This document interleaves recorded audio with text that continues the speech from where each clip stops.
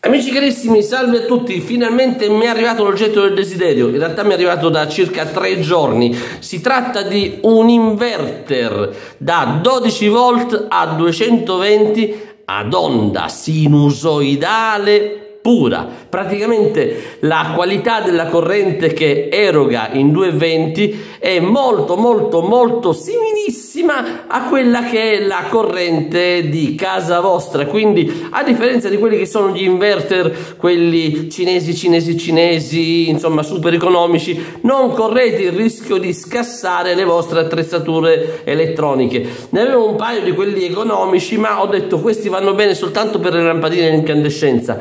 Meglio accantonarli un pochino e laddove magari devo attaccare una stufa, immaginate attaccare una stufa con un inverter, con una batteria, è un pochino assurdo, ma comunque forse un giorno troveranno una loro applicazione. In questo caso avevo bisogno di un inverter per l'automobile, quella per il furgone, quello per il furgone già ce l'ho, è un 2500 watt con possibilità di picchi a 5000, sempre ad onda sinusoidale pura, ma lì ci attacco tutta altra cosa, insomma un altro assorbimento, altri, un altro discorso. Questo qua piccolino da 300 watt va benissimo per l'auto.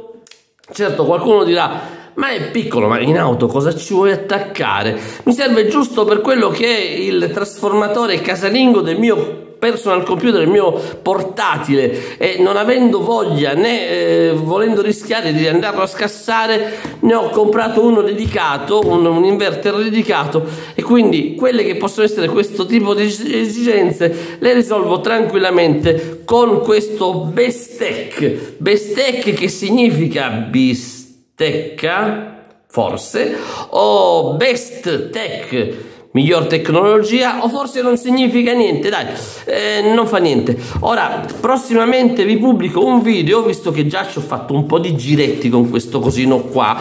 Un video nel quale ve lo presento più nello specifico perfettamente passo passo. Eh, vediamo un attimo quali sono le impressioni le caratteristiche e come si comporta anche a livello di assorbimenti. Ora qui abbiamo fantastico il manuale in tutte le lingue del mondo non ci crederete c'è anche l'italiano per una volta, non è scritto in lillipuziano, cioè i caratteri sono leggibili, sono abbastanza grandi da poter essere letti anche da noi umani.